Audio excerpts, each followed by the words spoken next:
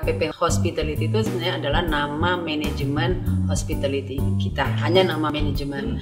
Tapi ini adalah salah satu cluster bisnis dari PT PP Property TBK. Ya, di mana cluster bisnisnya itu ada residen, komersial dan hospitality.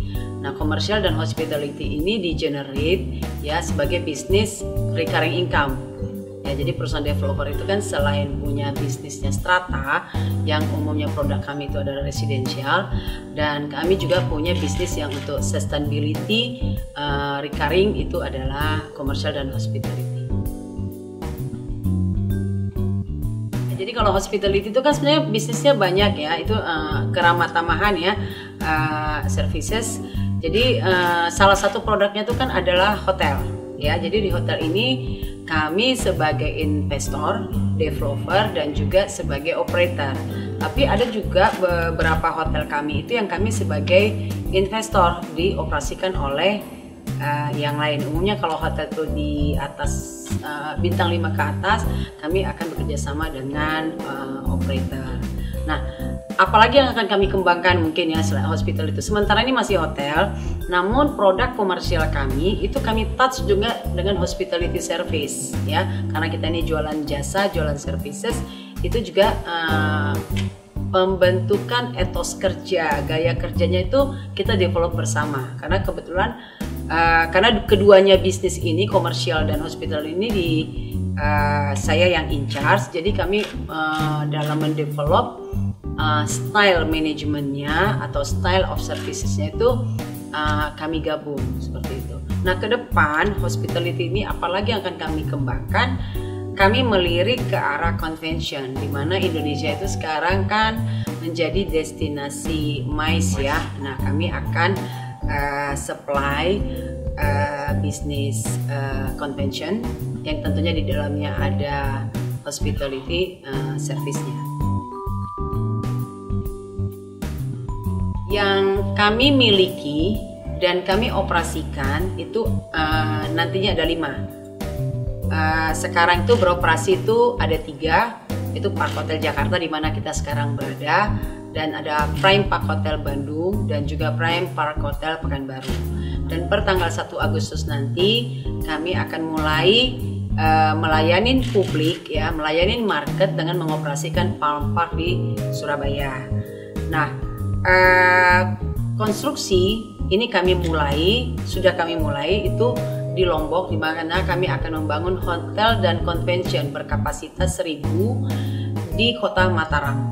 Nah, jadi nanti tahun 2020 eh, awal kami akan mengoperasikan uh, 5 hotel. Namun kami punya satu hotel yang uh, investornya kami dan dioperasikan oleh operator lain yaitu Swiss Bell di Balikpapan. Dan sekarang kami bekerja sama dengan investor asing. Kami sedang mendevelop uh, hotel bintang 5 plus di uh, special zone Mandalika. Justru itu yang membuat kami jadi lebih semangat ya. Uh, kita itu kan tidak sendiri, jadi pemerintah sendiri juga meningkatkan uh, pendapatan ya, uh, mengencourage kita untuk meningkatkan pendapatan uh, dari bisnis pariwisata. Nah, hospitality service itu kan berarti menjadi uh, salah satu uh, supply-nya ya untuk itu ya, selain tempat-tempat uh, yang lainnya. Jadi kami menyikapinya ini membuat kami lebih gairah karena sebenarnya dari kecil kan kita udah tahu hotel ya. Dari kecil tuh kita udah hotel. Cuma hotel itu kan dia bertransformasi. Dari tadinya kita cuma tahu hanya kamar mungkin meeting room ya. Sekarang kita udah kenal kata mais udah biasa dengan kata mais. Sekarang ada lagi uh, lifestylenya uh, masyarakat itu juga sekarang banyak itu ke uh, menggunakan fasilitas hotel ya. Ada swimming pool dan orang berkegiatan di hotel Nah, dengan adanya uh, infrastruktur yang terbangun lebih mengkoneksi antar daerah dan antar pulau, itu kan membuat orang lebih mengenal Indonesia dan alam Indonesia itu bagus. Jadi casingnya itu udah bagus Indonesia. Tinggal gimana soulnya yang kita buat. Nah, services itu kan one of the soul ya. Kira itu. Nah, tapi kita itu juga harus cermat ya. Tetap lokasi nomor satu. Dan ternyata lokasi itu tidak begitu bagus. Kita harus memikirkan uh, produk yang kita supply ini market targetnya seperti apa sehingga demand and supply-nya itu baik ya sehingga menghasilkan bisnis yang baik. Nah kalau misalnya demandnya belum tinggi ya kita bisa menjadi trendsetter kan. Tentunya dengan kajian ya kami kalau melakukan bisnis kami kerjasama dengan uh, konsultan visibility study. Dibanding tahun 2017 EBITDA yang kami generate itu 30% lebih tinggi daripada EBITDA 2017 ya untuk semester 1. Nah, porsi kami memang masih sekitar uh, kalau secara revenue itu masih sekitar 7% lah ya dibanding dengan uh, keseluruhan revenue dari PP Property.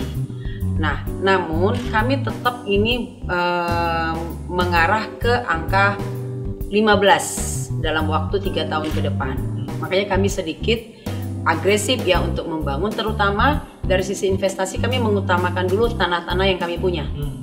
tanah-tanah yang kami punya uh, salah satunya itu ada di Padang dan hasil FS menunjukkan bahwa Padang lokasi kami itu recommended untuk menjadi hotel. Jadi kami tahun depan akan bergerak ke Padang. Kami sudah ISO hmm. jadi hospitality service kami sudah ISO walaupun kami termasuk pemain baru ya di dunia hospitality service. Kami sudah ISO dan uh, penghargaan yang ini kami dapat marketing award ya untuk hotel kami yang di Bandung karena itu uh, cukup disukai tamu khususnya family dan juga anak muda. Jadi ini di Bandungnya uh, karakteristik tamunya agak lucu. Jadi bukan tadinya kami mau supply itu business traveler dengan uh, family. Ternyata bergerak bergerak itu malah ke arah komunitas. Ya itu kami cermati. Jadi ya kami beberapa adjustment di produk untuk menyesuaikan community demand. Uh, tentunya tahapan bisnis proses dari membangun hotel itu kan kita melakukan kajian visibility study ya. Kita nggak asal-asalan. Nah terus kita juga uh, mempelajari hasil konsultan independen tersebut. Terus internally kami kaji lagi. Setelah kita uh, dapat itu layaknya seperti apa uh, formasi bisnis ya. Nah, baru kami akan bekerja sama lagi dengan konsultan desain. Nah, pada saat konsultan desain ini kami bekerja, kami juga melakukan market uh, survey. Kira-kira sekarang lima tahun ke depan, 10 tahun ke depan, 15 ini stylenya uh, market hotel itu seperti apa. Jadi kami tuh tidak pakem harus posisinya di sini. Jadi kami menyediakan beberapa skill untuk produk hotel. Nah strategi kami adalah uh, kita harus memahami uh, satu pasar. Terus kita memperkuat SDM kita. SDM itu kita perkuat. Jadi selain dia menguasai bisnis uh, services, ya, dia juga harus menguasai connectivity servicenya kita ini dengan yang lain. Karena sekarang kan zamannya platform ya zamannya kebersamaan. Nah terus kita juga uh, menguatkan mereka dengan konsep investasi. Sehingga mereka punya uh, semangat ini bisnis akan dioperasikan seperti apa gitu. Nah, seperti itu. Terus mengenai digitalisasi, kami punya tim IT khusus yang mengupdate IT. Jadi kalau dari kami kan dulu memulainya tahun 2009. Jadi IT kami itu sudah berevolusi sedemikian, bertransformasi lah ya, sedemikian supaya kami bisa mengikuti zaman ini dan kalau bisa kita lebih ke depan. Konsumen juga, oke okay, itu tadi dari sisi pengendalian. Kalau dari konsumen ya tentunya kami ikut platform ya, website kami juga bisa digunakan untuk uh, reservasi dan kita juga bisa mengadakan live chat. Sekarang kan musimnya live chat ya. Nah, uh, live chatnya itu. Terus selain ada juga uh, online travel agent. Jadi kami sangat interaktif dengan tamu ya dengan tamu. Bagaimana mereka reservasi pesannya apa meeting roomnya seperti apa itu uh, kita langsung orang kita live chat ya live chat. Dan kita memang ada person khusus. Nah kami juga kerjasama dengan digital sekarang itu bulk sales ya kan digital bulk sales itu para pemain wholesaler sekarang maunya beli bulk kan? Hmm. ya kita tetap ikut. Kita nggak boleh dong saya nggak mau gitu. Nggak boleh ya. Kita tetap harus bekerja sama. Ya porsi kita atur allotment kita atur. Di samping kita juga ada OTA nah, kita ikut dengan OTA jadi digital itu hal yang uh, apa uh, hal yang penting buat kami dan kami juga sangat concern untuk uh, menanggapi setiap feedback yang disampaikan lewat uh, apa lewat platform-platform seperti TripAdvisor dan juga lewat Google dan juga disampaikan langsung ke kami. Nah itu kami uh, benar-benar kaji nggak karena orang sampai meluangkan waktu mau tulis itu kita sangat appreciate ya dan kami sangat terima kasih kalau tamu itu sampai mau seperti itu. Nah, bagaimana digital ke depan? Ini terus kami ikutin. Tadi saya bilang kami memperkuat SDM, SDM kami juga kami ikutin kursus khusus yang terkait dengan digital.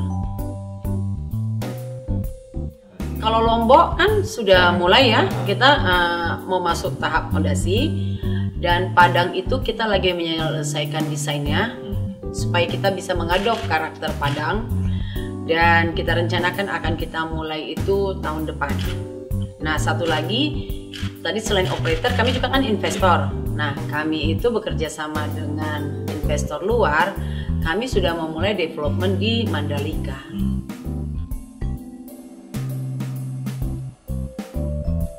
Visi besarnya kami menjadi bagian penting ya dari pariwisata income. Kenapa di Indonesia itu paling bagus ya itu pariwisata tagline kami sekarang Your Preferred Hotel Partner ya. Memang kami kan memulainya dari hotel, tapi nanti kami kan sudah mengembangkan tidak hanya hotel ya. Kami juga kembangkan dari convention dan juga komersial. Jadi kami akan uh, menjadi uh, Your Preferred uh, Hospitality Services ya. Karena nanti ini juga akan berkembang dan kita pelajari market. Hotel ke depan kami akan gabungkan hotel, komersial, dan uh, exhibition. Nah, tapi tentunya kita butuh lahan yang cukup luas ya. Seperti di Lombok itu kita hotel, tapi money generatornya itu dari convention. Dan kami siapkan juga space yang itu komersial. Yang namanya nonton konser itu nggak bisa digantikan YouTube. Nah, jadi kami akan masuk ke sana. Nah, itu sebenarnya kenapa kami pede ke sana? Karena kami sudah memulai di Colomadu kami bekerja sama dengan TWC dan Jasa Marga Properti. Kami investor sekaligus operator uh, di Colomadu.